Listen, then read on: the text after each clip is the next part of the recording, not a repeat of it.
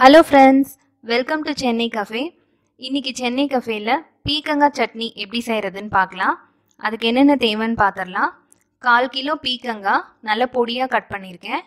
பத்து பன்னெண்டு சின்ன வெங்காயம் ரெண்டு தக்காளி மூணு பல் பூண்டு ஒரு சின்ன பீஸ் இஞ்சி பெரிய நெல்லிக்காய் சைஸ் புளி ஒரு டேபிள் ஸ்பூன் கடலைப்பருப்பு ஒரு டேபிள் ஸ்பூன் உளுத்தம்பருப்பு ரெண்டு வரமிளகாய் உப்பு ஒரு டேபிள் ஸ்பூன் தேங்காய் கருவேப்பிலை கால் டீஸ்பூன் கடுகு அரை டீஸ்பூன் கடலைப்பருப்பு உளுத்தம்பருப்பு. ஃபஸ்ட்டு நம்ம தாளிச்சிடலாம். ரெண்டு டீஸ்பூன் எண்ணெயில் வரமிளகாய் சேர்த்துருக்கேன். இப்போது உளுத்தம்பருப்பும் கடலைப்பருப்பும் சேர்த்துடலாம்.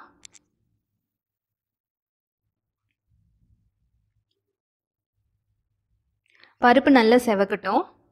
இப்போ வெங்காயம் சேர்க்குறேன். வெங்காயம் லைட்டாக வதங்கட்டும்.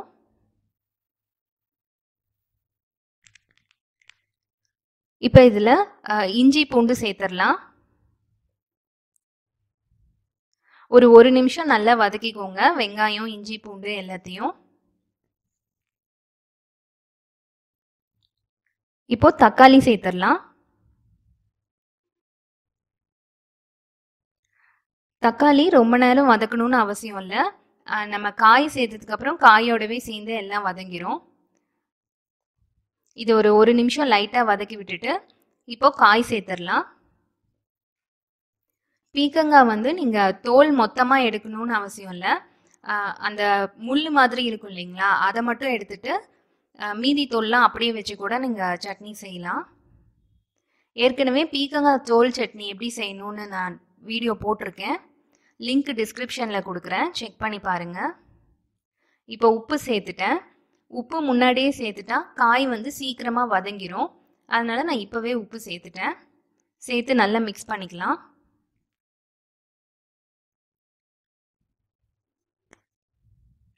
இப்போ இதை ஒரு பிளேட் வச்சு க்ளோஸ் பண்ணி வைக்கிறேன். ஸ்டவ் வந்து நான் சிம்மில் வச்சுருக்கேன். ஒரு ஃபைவ் மினிட்ஸ் இது இப்படியே வேகட்டும். ஹையில் வச்சிடாதீங்க. காயெல்லாம் தீஞ்சு போயிடும். சிம்மில் வச்சுக்கோங்க. இப்போ ஃபைவ் மினிட்ஸ் ஆச்சு. ஓப்பன் பண்ணி பார்க்கலாம். கலந்து விடுங்க. பாருங்கள் தண்ணி காயிலே விட்டுட்டு வந்திருக்கு. நான் தண்ணி எதுவும் சேர்க்கலை. பீக்கங்காய் வந்து அதுவே தண்ணி விடும். அதனால் தண்ணி எதுவும் சேர்க்காதீங்க. இந்த மாதிரி மிக்ஸ் பண்ணிவிட்டு திரும்ப நம்ம பிளேட் வச்சு க்ளோஸ் பண்ணிடலாம். இன்னும் ஒரு மூணு நாலு நிமிஷம் இப்படியே இருக்கட்டும். இப்போ பாருங்கள் காய் எல்லாம் நல்லா வெந்துருச்சு. எனக்கு ஒரு பத்து நிமிஷம் ஆச்சு. எயிட் டு டென் மினிட்ஸ் ஆகும் காய் வேகிறதுக்கு. இப்போ இதில் நம்ம தேங்காய் சேர்த்துடலாம் தேங்காய் சேர்த்துட்டு மிக்ஸ் பண்ணி விடுங்க. தேங்காய் சேர்த்ததுக்கப்புறம் ரொம்ப நேரம் வதக்கணும்னு அவசியம் இல்லை.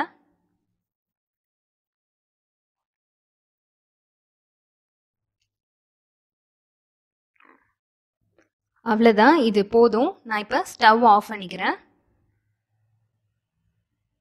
இப்போ இதில் புளி சேர்த்துடலாம் புளி வந்து வாஷ் பண்ணிவிட்டு சேர்த்துக்கோங்க. அப்போ தான் சட்னி அரைக்கும் போது நல்லா மசியும். இப்போ இது ஆறட்டும். ஆறுனதுக்கு அப்புறமா சட்னி அரைச்சிடலாம் நான் கொஞ்சமாக தண்ணி சேர்த்து அரைச்சிருக்கேன். ரொம்ப ஃபைனாக அரைக்கணும்னு அவசியம் இல்லை. ஓரளவுக்கு அரைச்சிங்கன்னா போதும். எந்த அளவு தண்ணி வேணுமோ அந்த அளவு சேர்த்துக்கோங்க. ஆனால் இந்த சட்னி திக்காக இருந்தால் தான் ரொம்ப நல்லாயிருக்கும் இப்போ சட்னியை தாளிச்சிடலாம். ஒரு டீஸ்பூன் எண்ணெயில் கடுகு சேர்த்துருக்கேன். இப்போ இதில் கடலைப்பருப்பு உளுத்தம்பருப்பு சேர்த்துடலாம். கருவேப்பிலை சேர்க்குறேன்.